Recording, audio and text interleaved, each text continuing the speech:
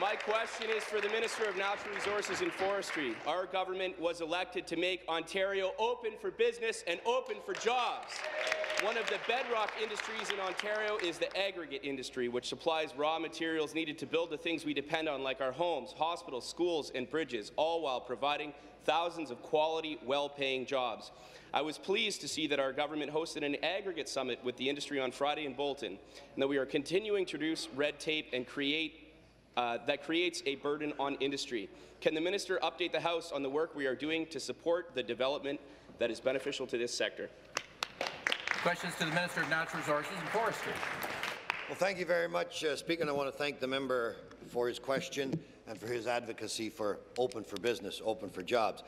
I was pleased that so many of my colleagues were able to join me for that summit, uh, including the Ministry of Community Safety and Correctional Services, my colleague, the Minister of Municipal Affairs and Housing, my parliamentary assistant, Mr. Barrett, and the member from Peter, Peterborough Kawartha.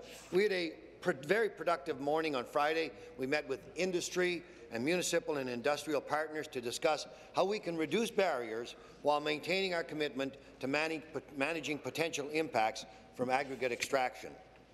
Speaker, the previous government built barriers. Our government will always support development that builds our communities as we make Ontario open for business and open for jobs. Supplementary. Thank you to the Minister for that answer, Mr. Speaker. I know that my constituents agree with the Ontario Stone, Sand and Gravel Association, who welcome the message from the Minister that the province is now open for business. The aggregate industry is, a, is, an important driver to our economy and critically important to our quality of life, and we need to continue to reduce barriers that create an environment for growth and a sustainable resource sector. It is important that the industry is able to provide, to provide input so we find solutions that work for everyone. Could the minister update the House on the information taken from the aggregate summit? Minister. Thank you, Speaker. Again, I want to thank the member for his question. As we look at how Ontario manages pits and quarries, we want to work. We want to hear from everyone on, on how we can improve upon this framework. I invite everyone interested in aggregate reform to submit their comments if they have not done so already.